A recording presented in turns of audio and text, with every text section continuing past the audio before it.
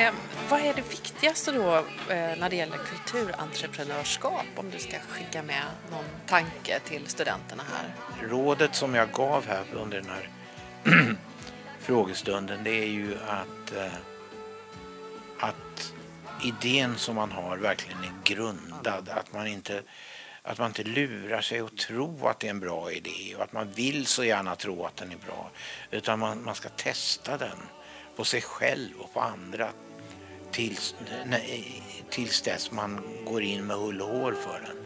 Vi ska vara tillsammans när dag läggs till och egna idéer som har hållit det har han verkligen producerat.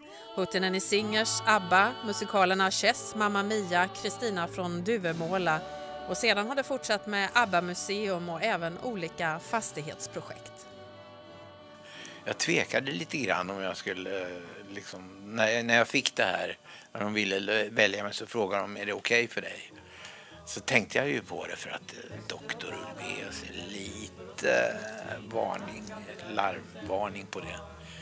Men sen tyckte jag att nej, det är något trevligt och det är Småland och det är Växjö. Ja, så sa jag.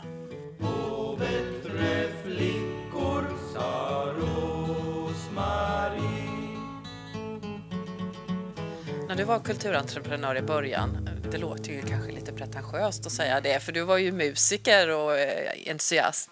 Men var det något råd som du nu i efterhand eh, tänker att det rådet skulle jag ha fått, det hade varit bra?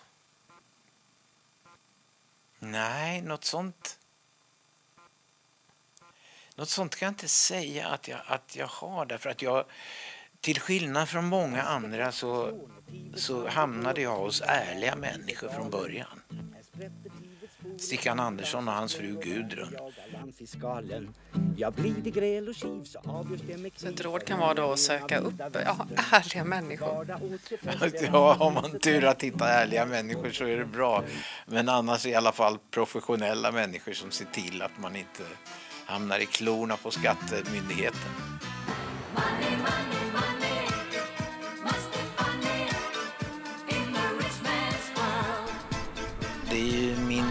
Lilla hemstad, alltså, det går ju aldrig ur. Det känner jag jättestarkt. Och därför är jag så glad över att jag till slut ska få möjlighet att, att bygga en, en, en turistattraktion kan man säga där. Som eh, jag tror kommer att vara till mycket glädje för Västervik. Det är jag jättestolt över att få möjligheten att göra det. Nu är jag förstås som så många andra gammal ABBA-fan. Så jag hittade här då. Oh, wow. Och jag hade ju mina väggar förstås tapetserade. Oj, det var nött också. Då skriver jag till. Astrid. Vad fint. Jag blir alldeles rörd nu. Får man ge dig en kram? Ja, jajamensan. ja, hoppas hatten sitter bra. Ja, tack ska du ha. Ja, tack så mycket.